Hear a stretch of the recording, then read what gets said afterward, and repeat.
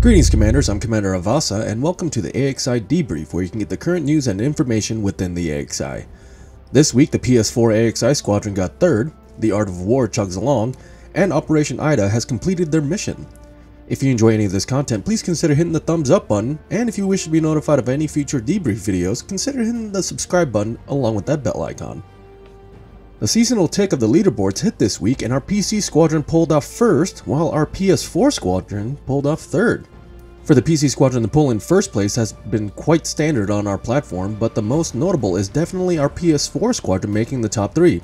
They are well understaffed compared to the PC community, and for them to put in the incredible effort to compete on PS4 and making AXI an authority on that platform is just incredible. I did get informed that Commander Zackle was instrumental in their success, and so please thank Commander Zackle for coordinating and motivating everyone on their platform, and of course well done to all the commanders involved. The Art of War continues to run towards completion at an incredible rate now hitting the 6400 mark of Thargoid Hearts. The hearts are the last thing we need to have this public event come to its conclusion, with the reward of an in-game decal for you to paint onto the hulls of your ship. We are well underway to finishing this goal well before its deadline. And this event has brought in a lot of new commanders into our community, with many of them taking on Thargoids for the first time.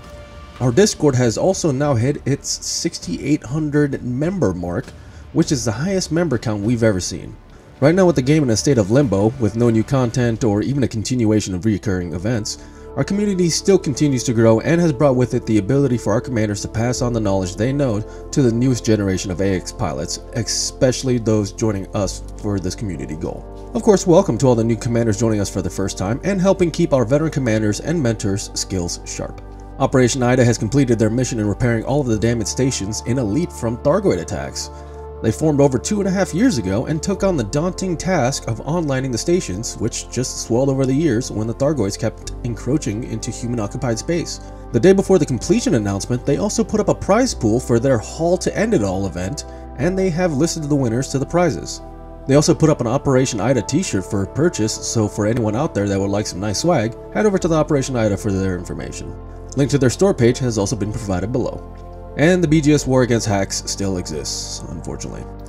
And many of us are just really not interested in continuing this war, so can come on hacks, let's let's put this to an end. A lot of us would appreciate it.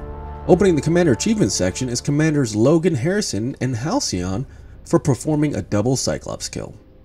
Commanders Tyron Woodley and Pixiryu, Pixt, Pixiryu, oh, you told me, you know that guy, achieved their first Hydra kills this week, so congratulations to these two commanders joining the elite rank of commanders who have taken on this challenging threat. Yeah, no, I, I'm never going to get that name right. And Commander Katie Byrne this week achieved a Medusa kill while maintaining 100% of her hull. Well done, Commander. And for this week's kill of the week, it goes to Commander Blue Skies with a Soaring Sleipnir kill. This kill requires you to take out a Medusa without your HUD, which makes aiming, synthing, or even just getting a basic understanding around you with what your HUD provides, has its difficulty multiplied by a factor of a lot of nope. So congratulations to Commander Blue Skies for this achievement. Rather light week we've had, and also the fact that the game is in limbo is making covering things a little bit more difficult. If it wasn't for Operation Ida or the Art of War, I'd be scraping the bottom of the barrel for content right now. With that, I'd also like to announce that unfortunately next week I will not be able to provide the debrief. Work tempo has picked up immensely and I have a few things my family and I are doing together. And so I really do apologize for this guys. It's just I got a lot of things going on right now. It's just been absolutely just mayhem at work and I barely have enough time for my family at the moment. So I just need to cut out a few things, uh, cut back on a few things also to get time with my family. So I really do apologize for this but I do look forward to seeing all of you in the week after. Of course, thank you all for joining me this week, and as always, Commanders, aim for the heart. Carry on.